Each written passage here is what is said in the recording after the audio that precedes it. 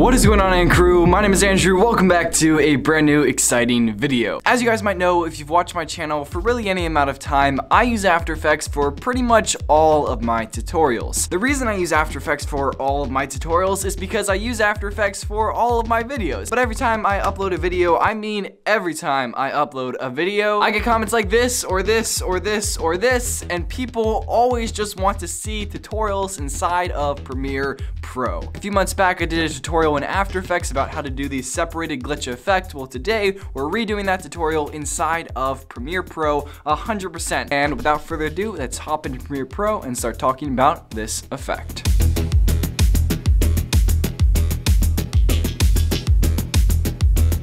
Alright guys, so I'm inside of Adobe Premiere Pro and I've got this two second clip of me trying to look cool and the first thing that we need to do is mask out my body. Now I want to hit G on my keyboard to bring up the pen tool like After Effects, but in Premiere you select the clip and then you go over to opacity and you click this little pen tool. Now the nice thing about the separated glitch effect is you really don't have to be that accurate. You can really do this pretty much as sloppily as you want. You really just have to have a rough area around your body. Alright, so now we've got this little mask. We're to go over to the keyframes and we're to keyframe the mask path. Now move to the end of the clip, select the mask 1 again because that's to bring it back up. Now we can just readjust it something like that. And you know what? I think that's gonna do the trick. Now we're gonna go over to our effects panel and we're gonna type in warp and the type of distortion we're gonna use is the wave warp. So just drag that over on top of your clip. All right, so we got a few different options here. Right now it's in sine, and honestly, this looks kind of cool. You could do some cool effects like this. You can really kind of mess around with it a lot. You could kind of warp your body like that if you wanted to. You could do some cool stuff with water and stuff like that. But what we're gonna do is go over to the wave type, change it from sine to square,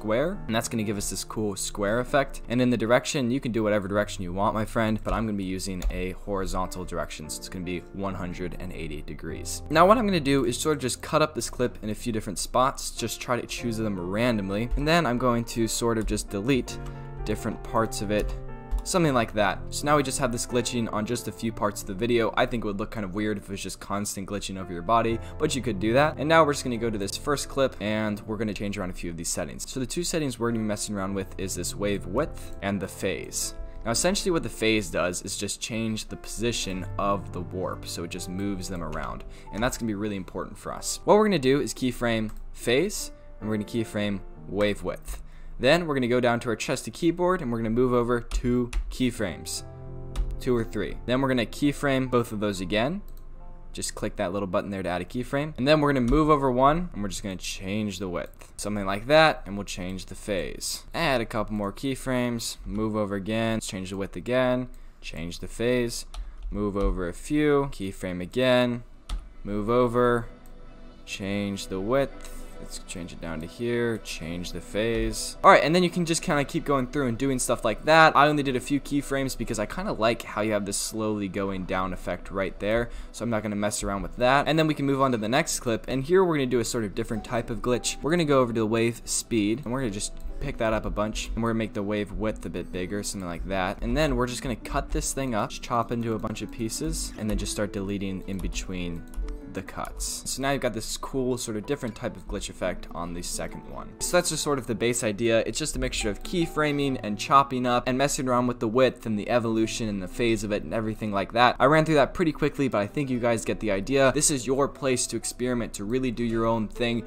There's no formula for glitching. It's supposed to be random. It's supposed to be weird. So just mess around with it and see what you like. So that could be it. That could be all you do, to be totally honest. What we're going to do real quick is just one more effect, which is add a little bit of RGB RGB separation. Now the way we're going to do this is actually just nest all this together. So we'll select all the clips, go up to nest, we'll name this glitch cool. And then we're gonna add an effect called arithmetic. Just drag that and drop it down onto your clip, onto your nest. I'm gonna copy this layer and paste it right above, and then paste it one more time. So we have three different layers, three different versions of it. Now on the bottom one, select it and change the operator to max and boost up the red value to 255. On the second one, also change the operator to max and boost up the green to 255. And on the third one, change the operator to max and boost up the blue value to 255. Now in all three layers, go up to the opacity and change the blend mode from normal to linear dodge or add. And now the clip looks normal again, and we're just gonna add a little bit of RGB separation. So just choose one of the random layers. I'm gonna choose the bottom one because that's the red layer. And I'm gonna uncheck uniform scale, and I'm just gonna scale up the width. And there you go. Now you guys can see we've got this cool RGB split separation going on. You can do this for all the different layers. So if we go up to